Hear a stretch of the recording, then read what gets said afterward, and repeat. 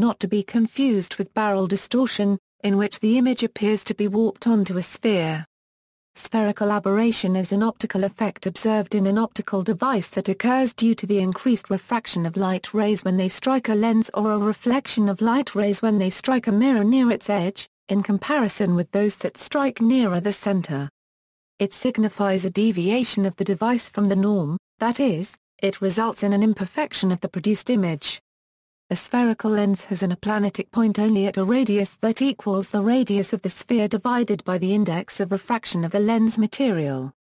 A typical value of refractive index for crown glass is 1.5, which indicates that only about 43% of the area of a spherical lens is useful. It is often considered to be an imperfection of telescopes and other instruments which makes their focusing less than ideal due to the spherical shape of lenses and mirrors.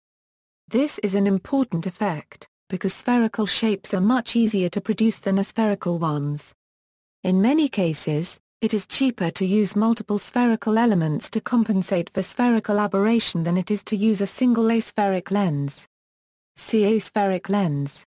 Positive spherical aberration means peripheral rays are bent too much. Negative spherical aberration means peripheral rays are not bent enough. The effect is proportional to the fourth power of the diameter and inversely proportional to the third power of the focal length, so it is much more pronounced at short focal ratios, that is, fast lenses. In lens systems, the effect can be minimized using special combinations of convex and concave lenses, as well as using aspheric lenses.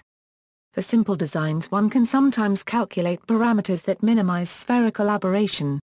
For example, in a design consisting of a single lens with spherical surfaces and a given object distance O, image distance I, and refractive index n, one can minimize spherical aberration by adjusting the radii of curvature and of the front and back surfaces of the lens such that for small telescopes using spherical mirrors with focal ratios shorter than f/10, light from a distant point source is not all focused at the same point. Particularly, Light striking the inner part of the mirror focuses farther from the mirror than light striking the outer part.